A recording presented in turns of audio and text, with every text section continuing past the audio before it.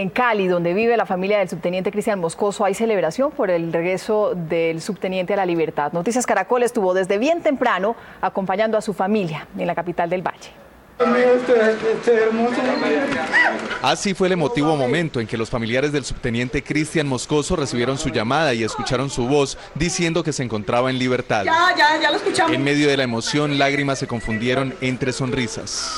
Hola, mi amor, no, qué felicidad escucharte, papi. Aquí están todos los medios, te quieren escuchar que, que ya estás libre, que estás con nosotros, mi amor. Qué felicidad tan grande. En el momentico que me suena el celular y lo escucho, y escucho la voz, eh, eh, eh, explotamos de felicidad, de júbilo. Con el paso de las horas y su regreso a la libertad, la incertidumbre terminó. Ya lo vemos mejor, más sonriente, más feliz. Ahora esperan ansiosos tenerlo entre sus brazos. El cartel que miraron por tantos días pidiendo su libertad ya no existe. Ya lo bajamos porque ya está en libertad, ya está con nosotros. Sus compañeros del ejército ya empezaron a enviarle mensajes de bienvenida.